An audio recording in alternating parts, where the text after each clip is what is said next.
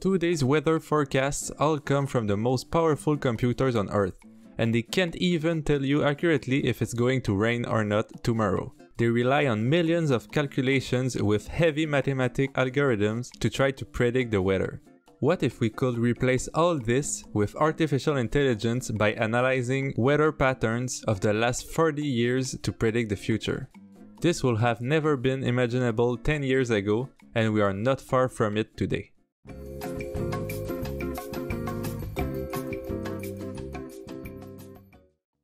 This is What's AI, and I share artificial intelligence news every week. If you are new to the channel and want to stay up to date, please consider subscribing to not miss any further news. The current traditional approach for weather forecasting uses what we call numerical weather prediction models. It uses mathematical models of the atmosphere and oceans to predict the weather based on the current conditions. It was first introduced in the 1920s and produced realistic results in the 1950s using computer simulations. These mathematical models work for predicting both short and long-term forecasts, but it's heavy in computation and cannot base its prediction on as much data as a deep neural network. This is partly why it's so promising. These current numerical weather prediction models already use machine learning to improve the forecasts as a post-processing tool. Weather forecasting is receiving more and more attention from machine learning researchers, already yielding promising results. Improving data-driven global weather prediction using deep convolutional neural networks on a cubed sphere is a recent paper published by researchers from the University of Washington in collaboration with Microsoft Research. They proposed a new weather forecasting framework using convolutional neural networks, CNNs, producing stable forecasts and realistic weather patterns at lead times of several weeks and longer. The model even significantly outperforms many other techniques for short and medium range forecasting. But as they say, it currently does not compete with current operational weather forecasting systems in numerical weather prediction but this data-driven CNN is much faster and is always improving, showing that machine learning is definitely a valuable tool in weather forecasting and could eventually replace current approaches, giving both faster and more accurate predictions. If you are not familiar with the concept of CNNs, I strongly invite you to check out the video I made explaining what they are and how they work. They call their method the Deep Learning Weather Prediction DLWP. It takes an initial atmospheric state as inputs and predicts a state of the atmosphere at a given future time. It does that by learning from historical observations of the weather. Of course, these historical observations are the data fed to the network in the training phase, which allows it to use its knowledge to make its predictions. This is achieved in three steps.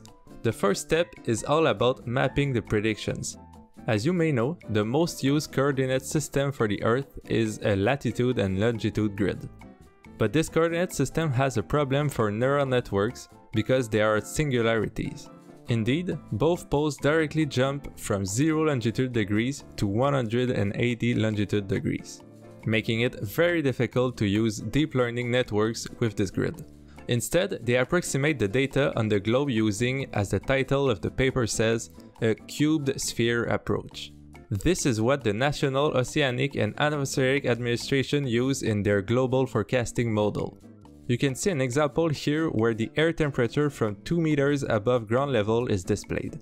The first figure on the left shows the cubed sphere grid, with the blue lines being the boundaries between each face of this cube, and each face having 48 grid cells as well for more precision.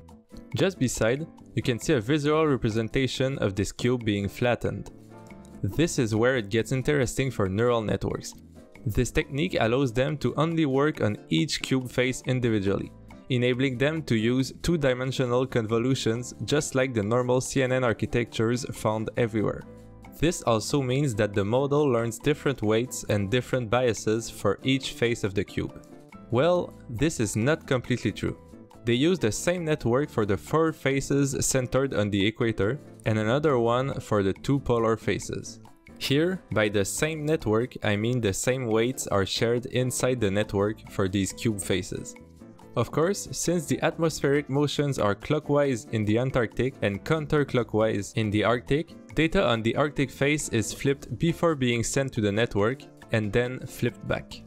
The neural networks architecture is the second step of their approach. The specific model they use in their work is a popular type of neural network in the field of computer vision and especially image segmentation tasks, the U-Net architecture, as you can see in this image.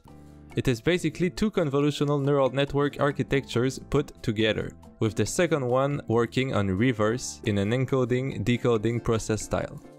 Here, each reddish arrow represents a 2D convolution operating on each cubed sphere face. The green and purple arrows indicate the average pooling to downsample the image in the first network, resulting in fewer parameters and to upsample the outputs in the second network to come back to the original size. The blue to yellow lines represent skip connections. It's frequently used in the U-Net architecture to skip some layers in the neural network and feed the output of one layer as the input to the next layers.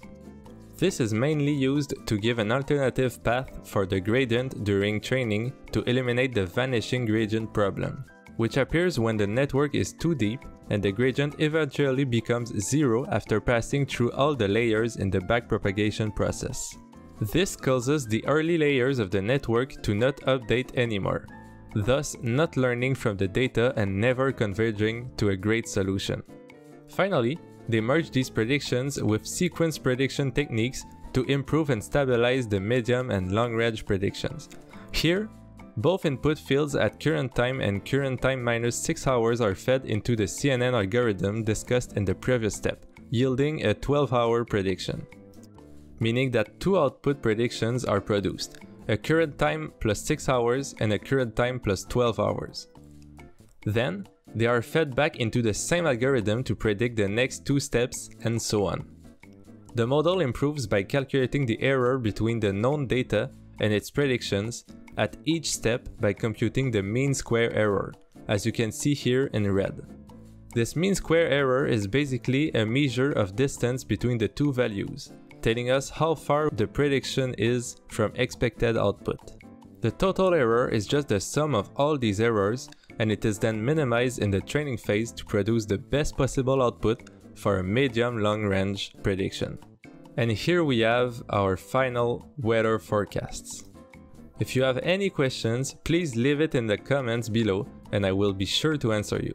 Their work is fully available to the public and both the links to their code on GitHub and their paper are in the description. I definitely invite you to read it for a better and more in-depth understanding of their technique. The data used in this paper for weather forecasting is also publicly available, this could be a very interesting project to jump in if you are looking for one, as you can already start from their results and try to improve them. Please leave a like if you went this far in the video. And since there are over 90% of you guys watching that are not subscribed yet, consider subscribing to the channel to not miss any further news clearly explained. Thank you for watching.